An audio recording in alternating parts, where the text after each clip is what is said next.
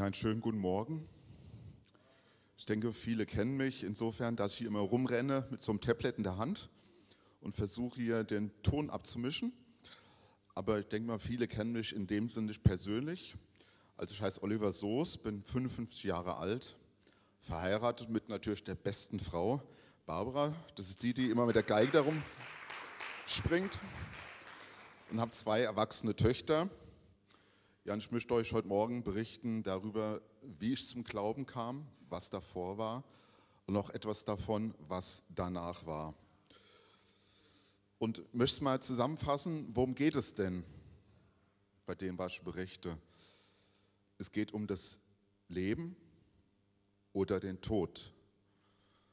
Eine höchst unkonventionelle Bekehrung, eine Frau, die mich sieht, ein kleiner, aber heftiger Stoß in die richtige Richtung, ein Gott, der mich sieht.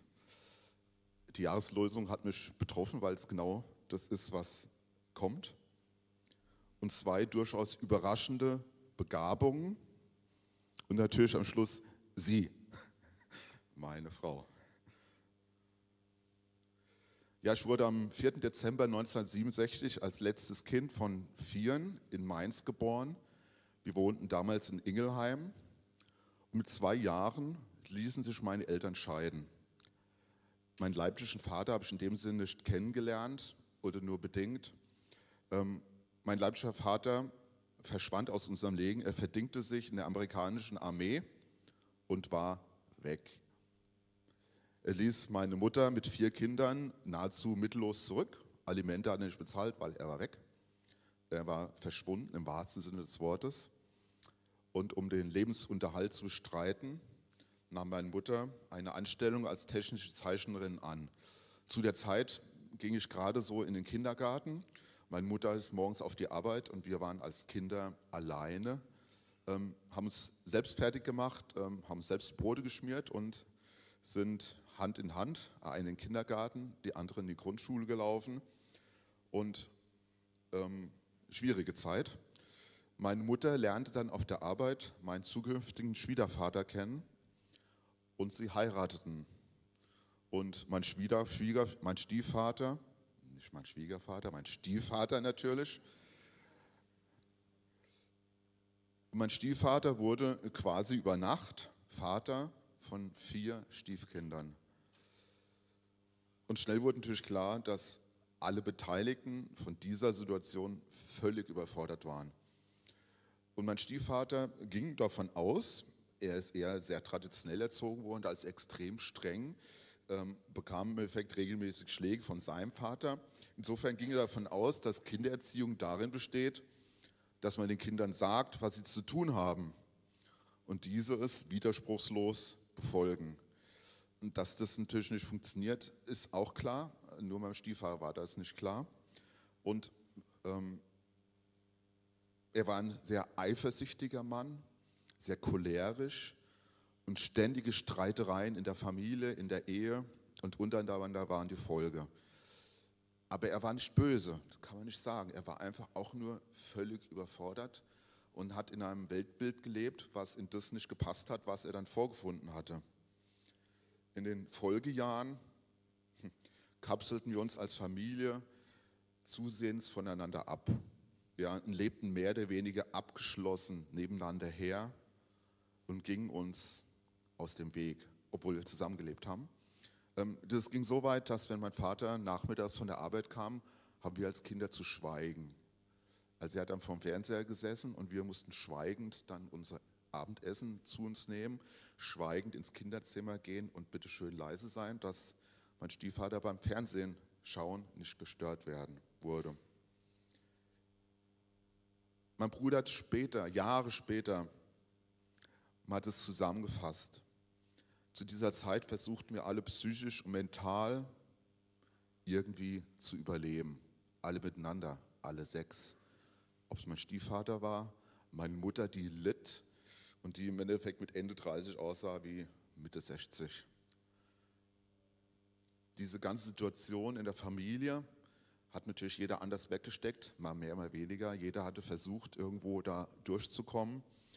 Ähm, auf mich hatte das psychische, auf meine Verfassung eklatante Folgen. Ich verschloss mich mehr und mehr in meiner Umwelt und erging mich in Tagträumen.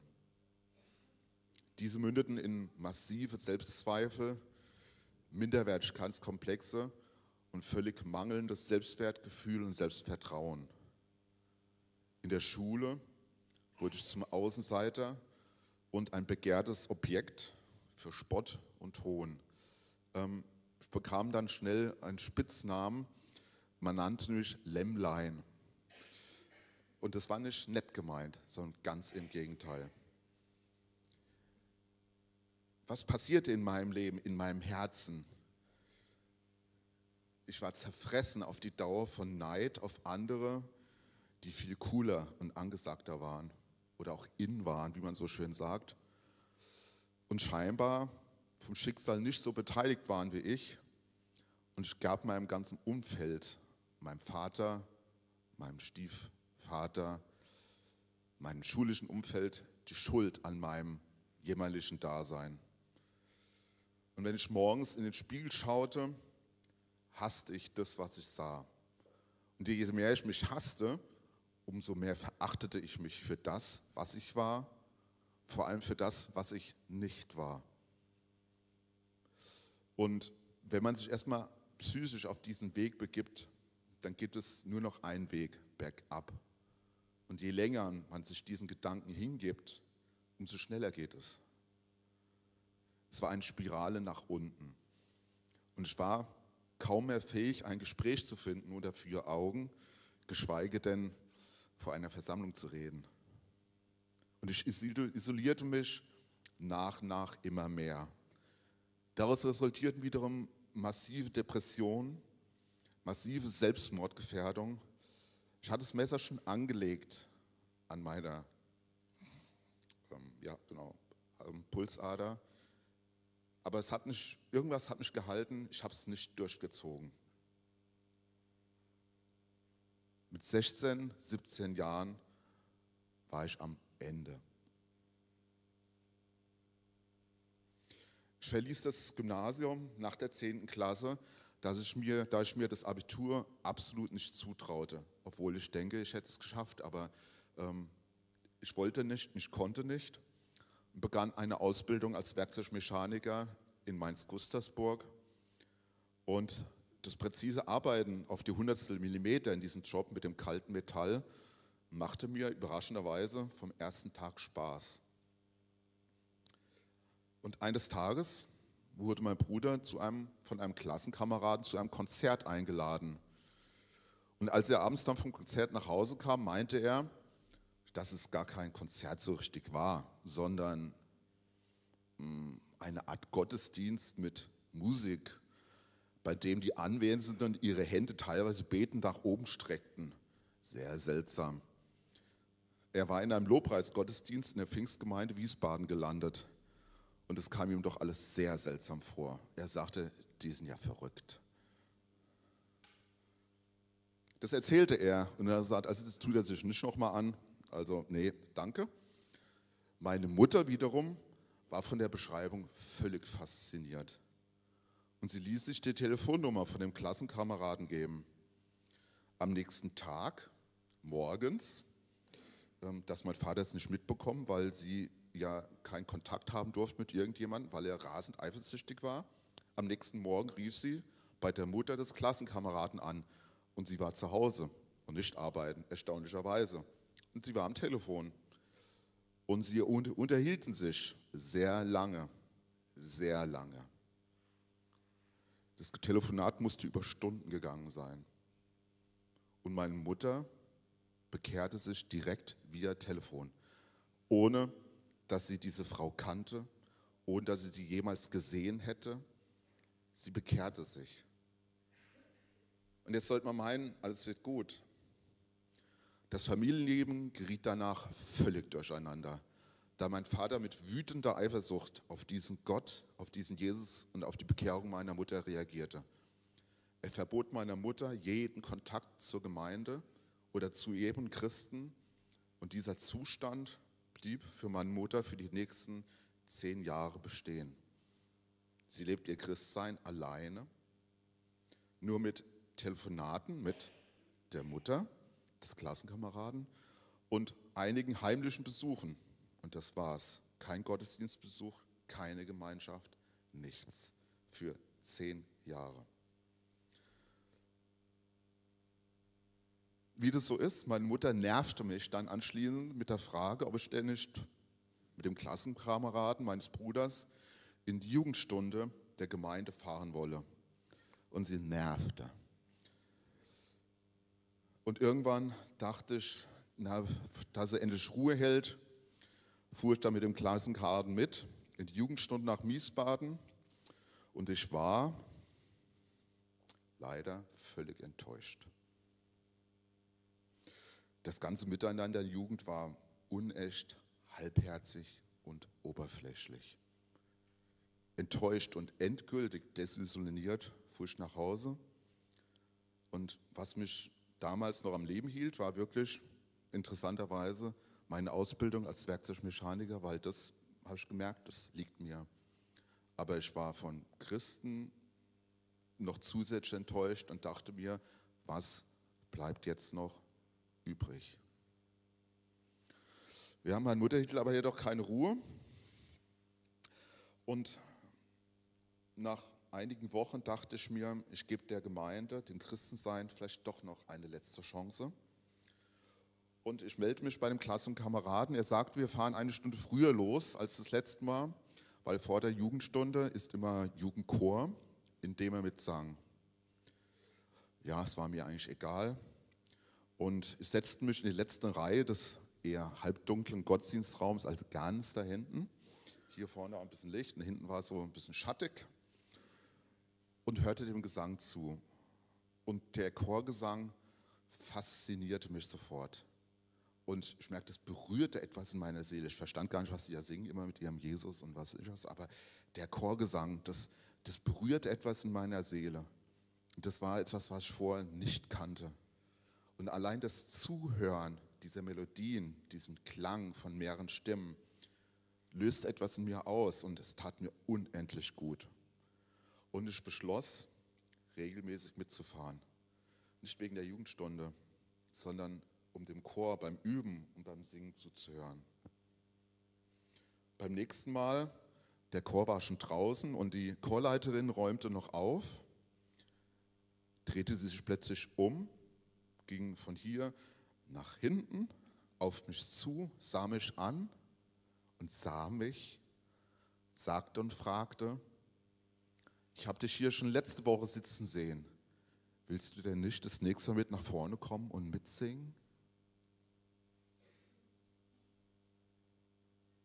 Eine simple Frage, eigentlich nichts Besonderes. Aber diese Frau hat mit dieser simplen Frage mein Leben gerettet. Und ich habe sie Jahre später getroffen, interessanterweise in Frankfurt in einem Museum und habe ihr gesagt, weißt du eigentlich, was du damals gemacht hast? Die wusste es gar nicht mehr. Ich gesagt, echt? Keine Ahnung. Diese Frau ist die Frau, die mich sieht. Ein Mensch, der mich sieht, der mich sieht, der, mich, der mir etwas zutraut, dass ich da mitsingen kann, ohne mich zu kennen. Und sie tat es nicht, weil sie sich das vornehmen musste. Ich habe jetzt ja vorgenommen, wenn das nächste Mal ein Gast kommt, dann gehe ich dahinter. Oder weil die Gemeinde vielleicht ein entsprechendes Programm aufgesetzt hätte. Nein, die Frau hat mich als Mensch gesehen. Und das traf mich zutiefst in meinem damaligen Zustand. Und es erschütterte mich. Das, ich wusste gar nicht, was ich damit anfangen sollte. Aber das Singen und damit etwas preisgeben von mir, das ist beim Singen immer so, man gibt immer etwas preis. Ähm, niemals. Es war für mich unvorstellbar. Deswegen sagte ich, danke, nein. Sie ließ aber auch nicht locker und sie schlug dann vor, ob ich denn nach der Chorprobe nicht einfach länger bleiben könnte. Und sie war bereit, ihre Zeit, sie hatte mehrere Kinder, war eine junge Frau, dass sie nach den Chorproben, wenn alle weg waren, mir das Singen beibringen könnte. und wir damit eigentlich jetzt und sofort anfangen könnten, müssten, sollten. Ich war sprachlos, ich konnte mich dem nicht entziehen und stimmte dann doch zu. Wir gingen zusammen vor das Klavier und sie sagte, ich spiele jetzt einen Ton und du singst ihn nach. Allein die Vorstellung, dass ich jetzt einen Ton höre und den singe, sie hat gespielt und ich habe geschwiegen. Sie hat gespielt, bong und ich singe bong, aber ich habe gesungen, ein Ton. Und so hat sie wirklich eine halbe Stunde mit mir nochmal geübt. Und vom ersten Ton an merkte ich, wie gut mir das Singen tut und mich erfüllt. Und bis auf den heutigen Tag ist Gesang in allen Facetten das wichtigste Element in meinem Leben. Vielleicht mit eins der wichtigsten Elemente. Und ich würde sagen, die Begabung meines Lebens, das ist das, was mich erfüllt. Und wer bei uns nach Hause kommt, der, der, der fällt sofort übers Klavier und überfliegen Noten rum. Und ich bin Gott unendlich dankbar, dass, dass ich eine Frau gefunden habe, die genau diese Passion mit mir teilt, ähm, was alles andere selbstverständlich ist. Ich besuchte also regelmäßig die Gemeinde und brachte die Bassisten im Chor regelmäßig aus dem Konzept und raus, aber es hat riesig Spaß gemacht. Was ich auch nicht kapierte, was, warum in der Gemeinde alle über diesen Jesus sprachen und was hat das zu bedeuten, dieses Sündenvergeben. Was heißt das? Wofür dieser Jesus? Gott, ja, kann man sich vorstellen, aber Jesus, was, was ist der Sohn Gottes? Ähm, diese, diese seltsame Ausdrucksweise, Sünden vergeben. Was für Sünden denn? Was ist das denn überhaupt? Wurde eigentlich auch nie erklärt und ich habe es auch nicht verstanden. Und was hat es denn alles denn mit mir zu tun? Keine Ahnung so vergingen drei, vier Wochen und ich kam einfach nicht vorwärts. Ich habe es immer nicht verstanden. Ich sah in der Gemeinde, in der Jugendstunde, haben dann immer erzählt, äh, ich hatte Eindruck, äh, ich meine Eindruck, die sprechen ja, im wahrsten Sinne des Wortes Hebräisch. Und zu dieser Zeit fuhr ich mit einer Fahrgemeinschaft nach Mainz zu meiner Ausbildung. Wir trafen uns morgens um sechs in der Nähe der Autobahn, wo ich mit dem, wohin ich mit dem Fahrrad fuhr. Dabei musste ich eine Autobahnbrücke überqueren und da waren mehrere Auf- und Abfahrten. Und am 5. Juni 1986, genau dieses Datum, das werde ich nie vergessen, fuhr ich über diese Brücke und ein Lastwagen ist von der Autobahn runtergekommen, ist auf die Brücke gefahren, übersah mich auf mein Fahrrad und fuhr mir, rammte mich seitlich. Ich hörte nur ein Krachen ich flog zur Seite und knallte auf die Fahrbahn und blieb geschockt liegen. Benommen stand ich auf und ich stellte fest, ich war völlig unverletzt. Die Jeans zerrissen, aber sonst nichts. Mein Fahrrad war völlig zerstört, der Sattel zerquetscht, die Felgen verbogen und ich hatte nichts, gar nichts. Der Lastwagenfahrer fuhr mich nach Hause und ich flüchtete in mein Zimmer und ich fühlte, dass dieser Unfall irgendwas zu sagen hatte, wie ein Wendepunkt in meinem Leben sein könnte. Aber, aber was bedeutete das denn jetzt? Ich saß auf der Couch und wusste nicht so recht, was nun. Aus einem spontanen Impuls heraus suchte ich meine Schulbibel und fand sie auch schlug sie auf und begann darin dann zu blättern. Und blätterte durch und landete beim Psalm 139, einem Psalm Davids. Herr, du erforschst mich und du kennst mich. Da war es bei mir schon fast vorbei. Ob ich gehe oder liege, du prüfst mich und siehst alle meine Wege. Dass jemand, der, der mich sieht, der mich kennt, der meine Wege prüft. Von allen Seiten umgibst du mich und legst deine Hand auf mich. Wohin soll ich gehen vor deinem Geist und wohin soll ich fliehen vor deinem Angesicht? Spreche ich, Finsternis möge mich bedecken. Und das kam mir so bekannt vor. Finsternis möge mich bedecken. So ist doch die Nacht oder meine Nacht auch Licht um mich. Denn auch die Finsternis, nicht, Finsternis ist nicht finster bei dir und die Nacht leuchtet wie der Tag. Die Finsternis ist wie das Licht. Und jetzt kommst, denn du hast meine Niere geschaffen und hast mich mit Mutterleib gebildet. Ich danke dir dafür, dass ich wunderbar gemacht bin. Wunderbar sind deine Werke, das erkennt meine Seele sehr wohl. Nein, ganz sicher nicht. Ich nicht.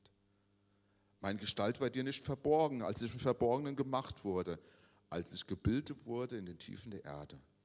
Deine Augen sahen mich schon, als ich noch ungeformt war. Und alle Tage waren in dein Buch geschrieben, die noch werden sollten, als noch keiner von ihnen da war. Aber wie schwierig sind für mich, Gott, deine Gedanken. Wie gewaltig ist ihre Summe.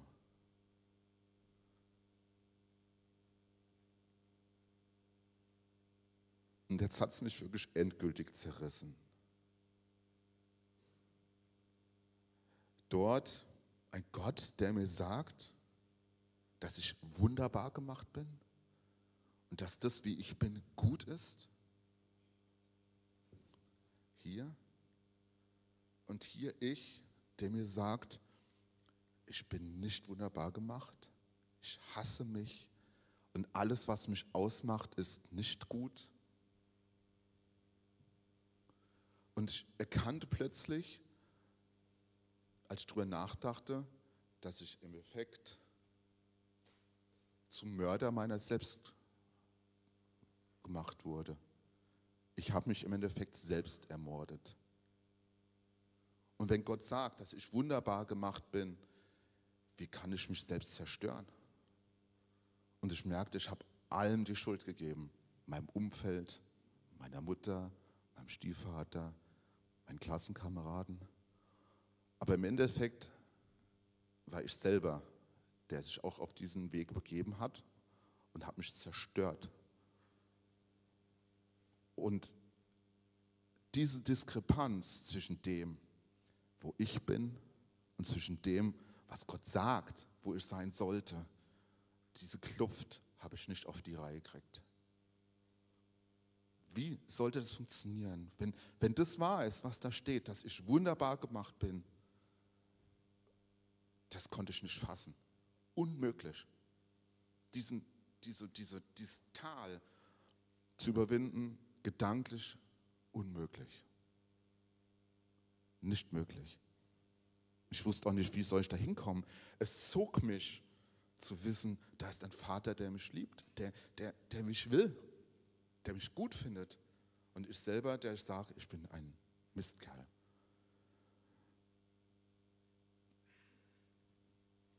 Und dann wurde mir klar, was das ist mit diesem Jesus. Dass er Sünden vergibt. Weil ich merkte, ich kann es nicht überwinden. Diese Kluft zwischen dem, was Gott sagt, zwischen dem, was ich denke, da, da muss was kommen.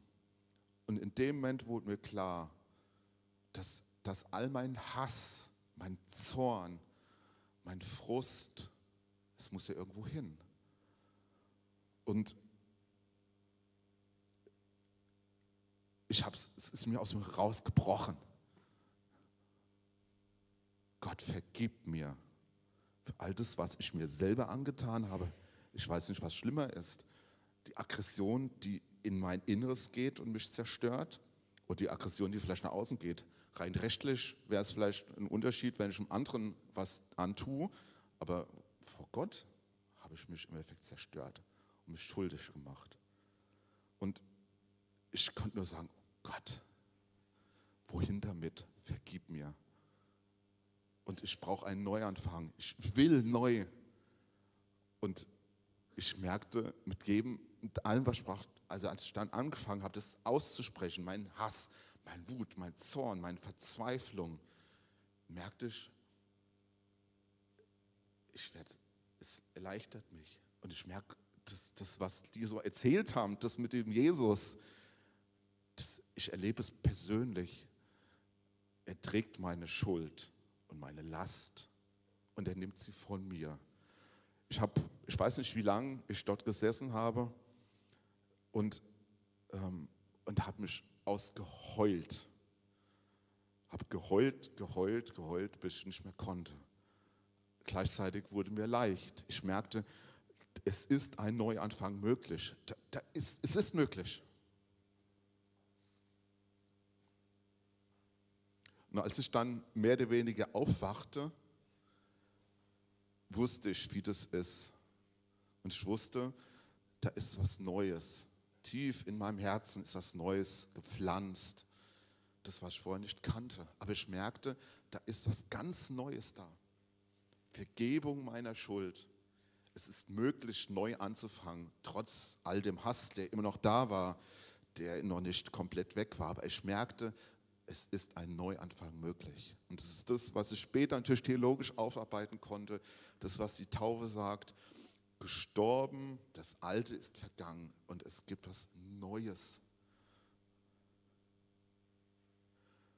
Ja, zwei Jahre später, ich war dann fest in der Jugend, ging eines Tages die Tür auf und sie tritt in mein Leben. Die Tür geht auf, denke ich, was für eine Frau.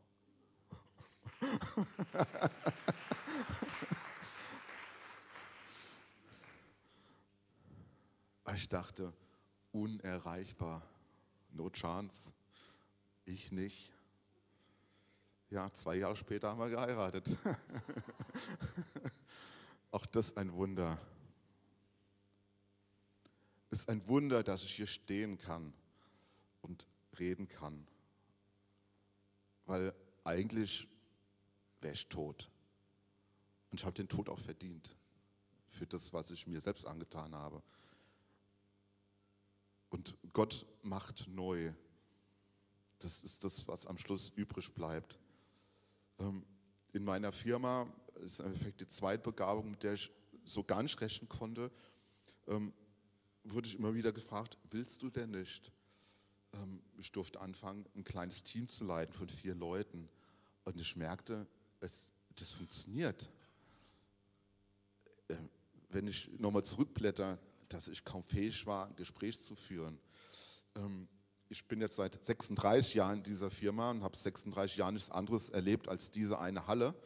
Bin inzwischen der Abteilungsleiter und habe 40 Mitarbeiter, mit denen ich arbeiten darf. Und wo ich beeinflussen kann.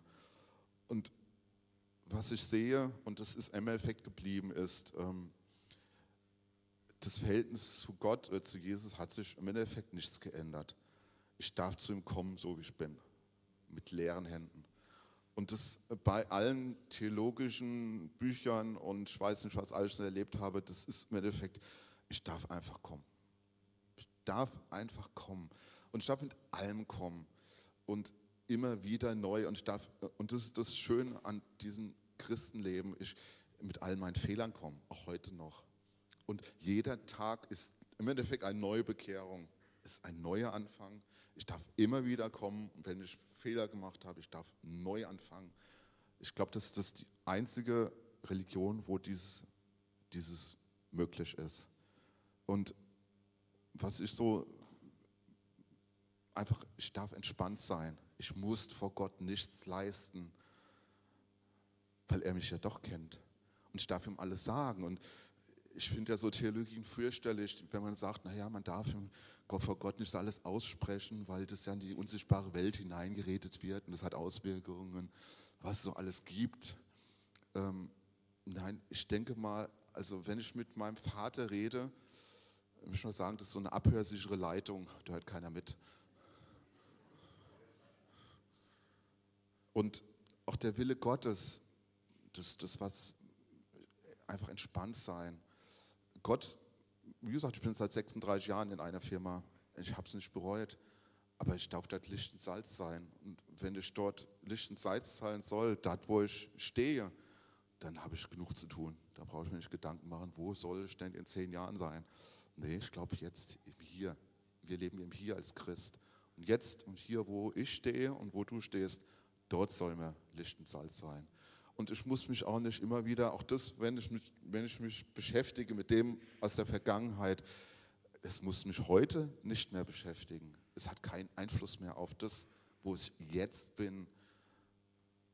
Der Einfluss, den, den, der im Jetzt ist, das ist das, wie der Paulus sagt, streck dich aus nach vorne. Also mir ist bewusst, woher ich komme, aber mir ist bewusst, das muss keinen Einfluss mehr haben auf mein Leben heute. Also einfach entspannt sein und wenn du nach dem Willen Gottes fragst, dann ist es ganz easy, da wo du jetzt stehst, da bist du richtig. Und wenn die Tür aufgeht, dann geht durch. Und wenn du Entscheidungen anstehst, dann frag Gott. Und wenn Gott redet, ist es gut. Aber oftmals schweigt er auch. Ist ja sein Recht. Und dann darfst du entscheiden. Also äh, nicht so kompliziert sein, sondern Gott ist eigentlich einfach. Religion ist einfach. Evangelium ist einfach. Wenn er sagt, er ist gekommen für die Schlichten dieser Welt, na, dann muss es auch schlicht sein zusammenfassend ich bin Gott unendlich dankbar, dass ich ihn damals finden durfte, dass er mir Begabungen gegeben hat, mit denen ich nicht rechnen konnte, dass ich Vater sein konnte, für mich unvorstellbar, wenn ihr bedenkt, wo ich herkomme, aus welchen Familienverhältnissen. Und ich bin sehr glücklich in meiner Familie, bin vielleicht immer noch nicht so der, der fröhliche Bonneproppen, werde vielleicht auch nie so sein. Ähm, natürlich ist man geprägt, irgendwo auch durch das, wie man groß geworden ist. Aber Gott ist größer über alles. Und er, der in mir ist, ist größer als das, was außen der Welt ist. Amen.